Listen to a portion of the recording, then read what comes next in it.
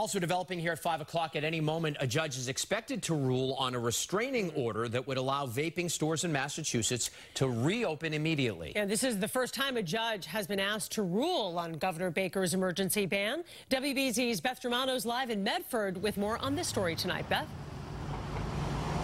Well, Vic's Vape Shop here in Medford was hoping they might be able to reopen their doors, but today a federal judge indicated she was not persuaded they've been irreparably harmed by the temporary ban on their product. Now, in Massachusetts, we're still waiting at this hour for the judge to make her final ruling on the temporary restraining order, but it is not looking good. I have a family. I have to worry about my wife and my son. Jeffrey Vick becomes emotional outside federal court as a judge indicates she's leaning toward denying a temporary restraining order to put the immediate brakes on a four month ban of vaping products he sells inside his Medford store. I feel like here here in the United States, if you're going to do something to someone, you have to have proof. Vick is among the plaintiffs blaming black market products for vaping related illnesses. But the state argues since it's not clear what's making people sick, a temporary ban is needed.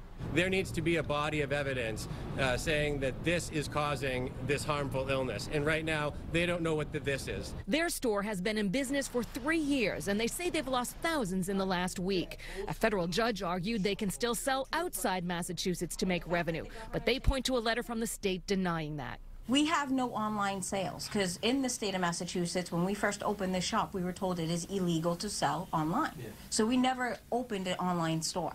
Yes, I've been back to cigarettes now for about a week and feel terrible. An admission from a customer they believe makes the ban even dangerous. They've been granted a hearing in two weeks for a preliminary injunction, but they worry by then it might be too late. It's not like we're making, you know, a million dollars a year in profit to survive.